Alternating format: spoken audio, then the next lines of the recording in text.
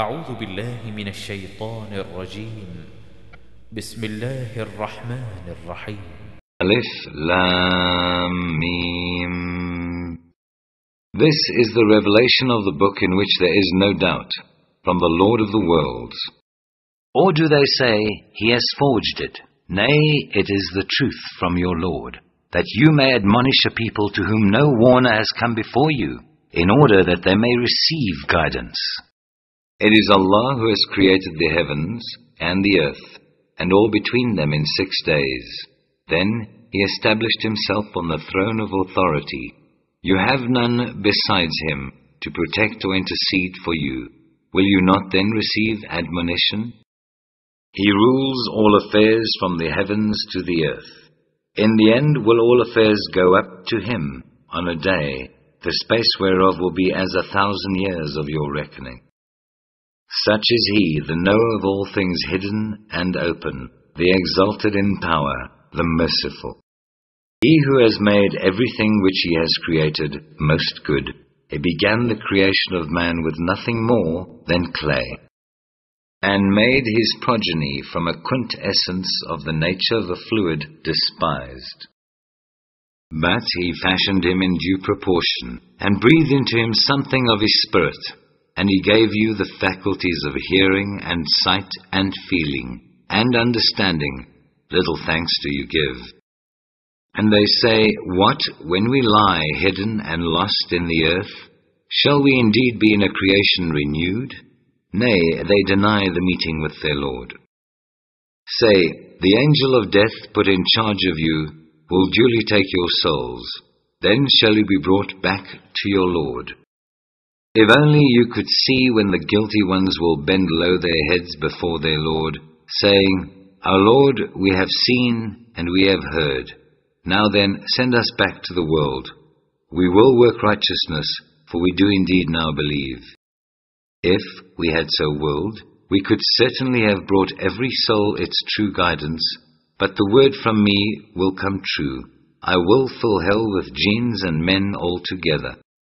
Taste you then, for you forgot the meeting of this day of yours, and we too will forget you. Taste you the penalty of eternity for your evil deeds.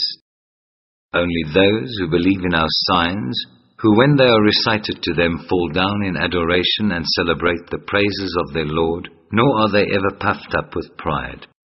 Their limbs do forsake their beds of sleep, the while they call on their Lord, in fear and hope, and they spend in charity out of the sustenance which we have bestowed on them. Now no person knows what delights of the eye are kept hidden in reserve for them, as a reward for their good deeds. Is then the man who believes no better than the man who is rebellious and wicked? Not equal are they. For those who believe and do righteous deeds are gardens as hospitable homes for their good deeds. As to those who are rebellious and wicked, their abode will be the fire. Every time they wish to get away therefrom, they will be forced thereinto, and it will be said to them, Taste you the penalty of the fire, to which you were wont to reject as false. And indeed, we will make them taste of the penalty of this life prior to the supreme penalty, in order that they may repent and return. And who does more wrong than one to whom are recited the signs of his Lord, and who then turns away therefrom? Verily, from those who transgress we shall exact due retribution. We did indeed aforetime give the book to Moses. Be not then in doubt of its reaching you. And we made it a guide to the children of Israel. And we appointed from among them leaders, giving guidance under our command, so long as they persevered with patience and continued to have faith in our signs.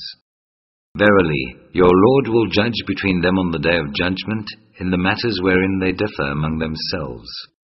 Does it not teach them a lesson? How many generations we destroyed before them, in whose dwellings they now go to and fro? Verily, in that are signs. Do they not then listen? And do they not see that we do drive rain to parch soil, bare of herbage, and produce therewith crops, providing food for their cattle and themselves? Have they not the vision? They say, When will this decision be, if you are telling the truth? Say, On the day of decision, no profit will it be to unbelievers, if they then believe, nor will they be granted a respite. So turn away from them and wait, they too are waiting.